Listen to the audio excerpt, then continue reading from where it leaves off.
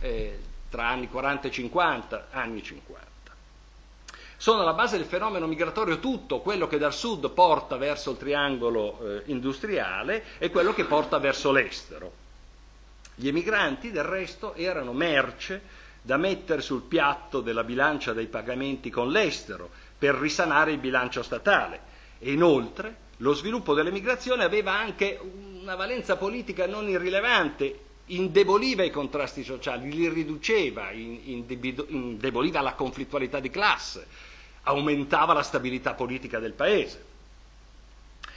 In questo quadro i governi, ecco, tanto questo per evocare che oltre alla migrazione italiana c'è nel dopoguerra un flusso eh, che va più o meno nella stessa direzione da tutti i paesi del sud dell'Europa.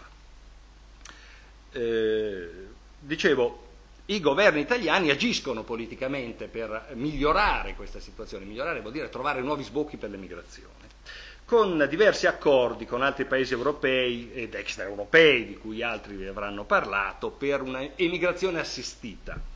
Le direzioni privilegiate in un primo eh, momento per quanto riguarda l'Europa erano le aree della siderurgia, eh, la Francia, il Belgio, la Cecoslovacchia prima della creazione della cortina di ferro, l'Olanda, la Germania che fino al 1955 è in parte occupata soprattutto lungo il Reno. Eh, L'Italia insomma esportava minatori e importava ferro e carbone per trovare anche proprio il filo diretto tra, nello stesso ambito produttivo. Perché la Germania?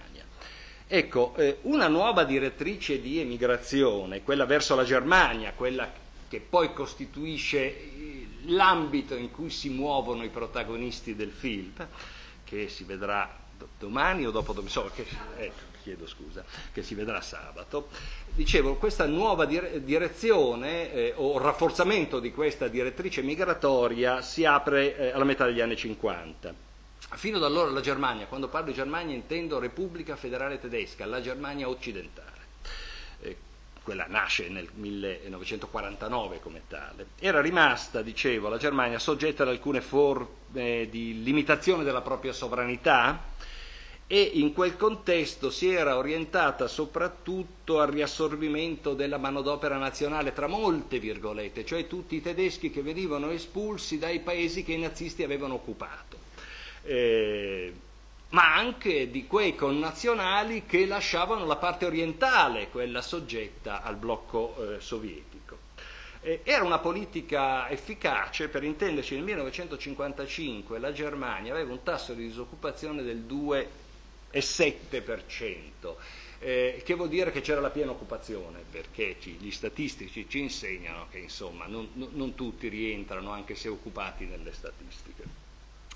Tuttavia la crescita del paese, secondo i tedeschi, avrebbe eh, comportato la necessità di importare una manodopera, un milione, 800 mila persone l'anno, forse erano un po' troppi, le previsioni eh, si basavano su una prospettiva di crescita economica troppo grande. Tuttavia, questo è lo stimolo da parte tedesca che finalmente si incontra con la speranza eh, italiana di eh, concludere anche con la Germania un trattato di eh, emigrazione. È quello del 20 dicembre del 1955.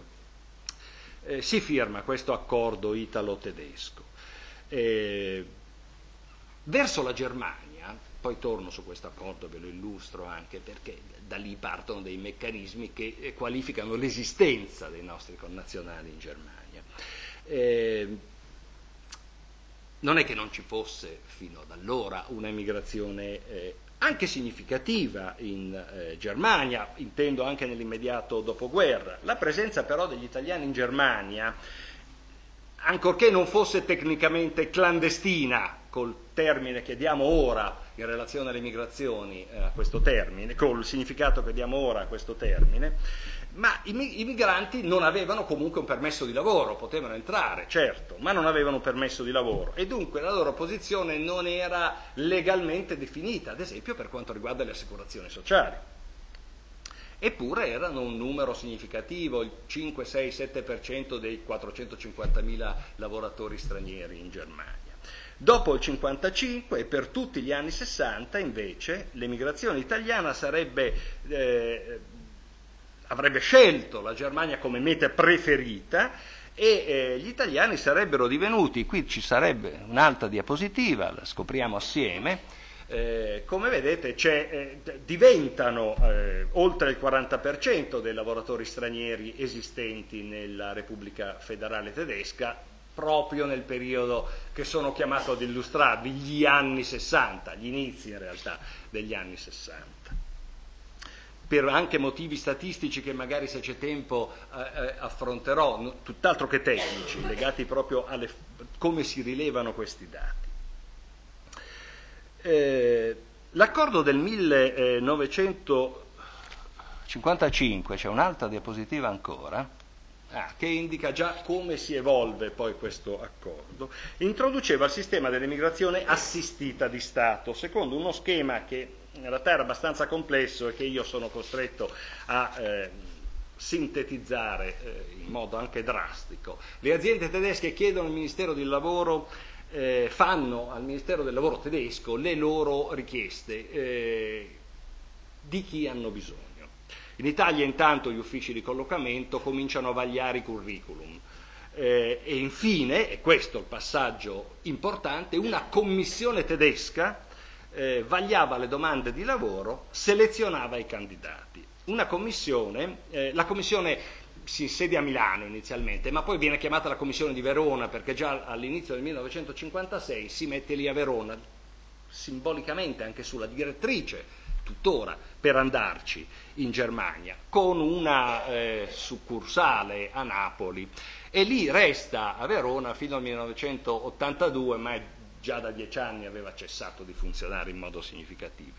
Le procedure per l'assunzione di questi per la valutazione di idoneità di questi lavoratori, che poi venivano assunti da imprese tedesche, erano vissute con ansia, con disagio dai migranti. Eh, qui c'è una lettera, un altro pezzettino di lettera, eh, per vivificare un po' una esposizione che rischia di essere noiosa, ogni tanto ci metto una lettera. La gente era venuta da tutta l'Italia già la sera prima. Si dormiva tutti per terra in una immensa sala. Eravamo circa mille persone che avevano fatto 20 e 30 ore di viaggio. Che puzzo! Alle sette della mattina cominciavano i controlli, come alla visita di leva. L'urina, i polmoni, il cuore, giù i pantaloni, ordinavano i medici. Guardava, guardavano se avessimo malattie veneree o un'ernia. Dovevamo aprire la bocca come i cavalli e a chi mancava qualche dente ci diceva tornate con i denti. Le, le procedure di, eh, di, reclutamento erano in effetti, soprattutto all'inizio, improntate a questa pignoleria teutonica. Usiamo anche noi, visto che si parla di emigrazioni e di tanti luoghi comuni. Ecco, questo è quello dal cotè italiano, la pignoleria, la precisione teutonica. Eh, e anche su un'estrema cautela, per intenderci, il primo anno le aziende tedesche chiedono eh, 31.000 lavoratori, eh, a Verona ne selezionano solo 10.000, sarà per i denti, sarà per le ernie, comunque non riescono a trovarne più di 10.000. Poi anche da parte tedesca le aziende cominciano a dire, vabbè, cosa serve questo, come funziona? I criteri in effetti si ammorbidiscono, si ammorbidiscono anche in relazione però al mutamento del quadro della cooperazione europea, diciamo. Eh, lo dico più avanti questo, intanto do un numero complessivo, eh, tra il 56 e il 75 bene o male riescono a passare 350.000 lavoratori italiani lì da Verona e più di 300.000 risultano idonei, quindi insomma migliora forse la dentizione eh, eh italiana o forse mh, mm, diventano più laschi i criteri.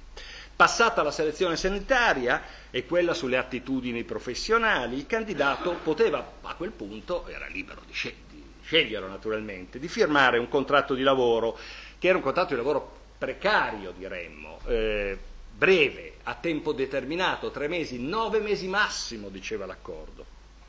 Dapprima, tra l'altro, e questo chiarisce perché tre mesi, era l'edilizia lo sbocco professionale più tipico.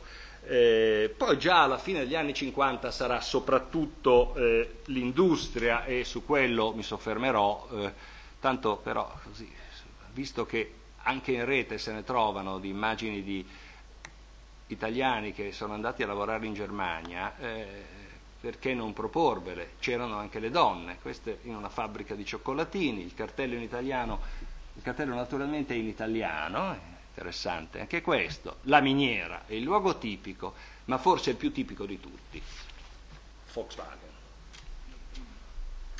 Eh, inizialmente dunque il modello di reclutamento del lavoratore italiano era quello del Gestarbeiter, lavoratore ospite. È un termine che evoca nella memoria italiana e di molti europei eh, esperienze profondamente negative. Nella memoria italiana eh, part, già dal 1935 c'era stato un accordo tra il governo fascista e quello nazista per inviare dei lavoratori eh, in Germania liberi lavoratori, naturalmente, per come potessero essere liberi dei lavoratori con quei due regimi. E nel periodo della guerra tra il 1943 e il 1945 migliaia di lavoratori italiani sono obbligati, è un lavoro coatto, e si chiamano Gestarbeiter ugualmente. Ecco, questo in effetti suona abbastanza male. La situazione naturalmente non era la stessa, questo eh, va da sé. Comunque i controlli di polizia sui migranti erano molto attenti e soprattutto gli insediamenti provvisori erano posti in zone periurbane. Eh, il modello insomma era più o meno lo stesso, quello di un rapido turnover dei lavoratori, una rotazione eh, rapida e dunque anche l'esperienza dei migranti eh, necessariamente era improntata a questo aspetto, se mi passate il termine, transumante eh, con frequenti ritorni in Italia, perché in fondo in una sessantina di ore abbondanti si arrivava dal nord della Germania a Napoli, perché già per scendere ce ne volevano di più. Eh, nel progetto iniziale del governo tedesco, del resto, era esplicita l'intenzione di non incentivare una immigrazione definitiva. Cos'è un'immigrazione definitiva? Quella con le famiglie, a seguito nostra, una di quelle lettere iniziali fa venire fuori, entrambe fanno venire fuori il tema. Eh, questo dal punto di vista del migrante eh, voleva dire non mettere in atto strategie di integrazione, cioè l'apprendimento della lingua, l'integrazione sociale, le amicizie, gli amori, salvo qualche eccezione. Qualcuno in queste lettere scriveva una sintesi perfetta, secondo me, dell'esperienza dell'italiano in Germania, lavorare, guadagnare, mandare i soldi a casa, partire. Le rimesse degli emigranti, quindi, erano un altro nodo che non abbiamo ancora toccato ed erano fondamentali, forse si è capito dall'introduzione che ho cercato di fare, erano un cespite determinante eh, per riequilibrare la bilancia commerciale. Negli anni 60 le rimesse totali degli emigrati italiani, cioè il decennio 60, eh, oscilla, eh, fonti diverse, 890 milioni, un miliardo di lire. Eh, comunque sono dal 5 al 7% delle entrate valutarie italiane. Ecco, eh, dalla sola Germania proveniva un quarto di queste rimesse degli emigranti, ma nel 70 oltre il 40%. Rimesse, proviamo a quantificarle con poveri esempi, eh, che per chi lavorava in una grande azienda metalmeccanica, Volkswagen ad esempio, eh, potevano anche essere di 50-60 mila lire eh, nel 1960, per intenderci uno stipendio medio in Fiat era 47 mila lire, quindi emigrando, vivendo, comunque mandavo a casa 60 mila lire. E, e 300-400 mila negli anni 70, nei per, per, per farci un, un, ambito di idee. Non, non, sono andato a vedere quanto fosse lo stipendio Fiat dopo l'autunno caldo. Eh, prima di addentrarci in qualche ulteriore eh, particolare, vediamo cosa questo mi ispira. Sì, è pertinente. Eh, sulla come, il dove, il quanti, il come, eh, forse l'ho detto già il come, eh, degli italiani in Germania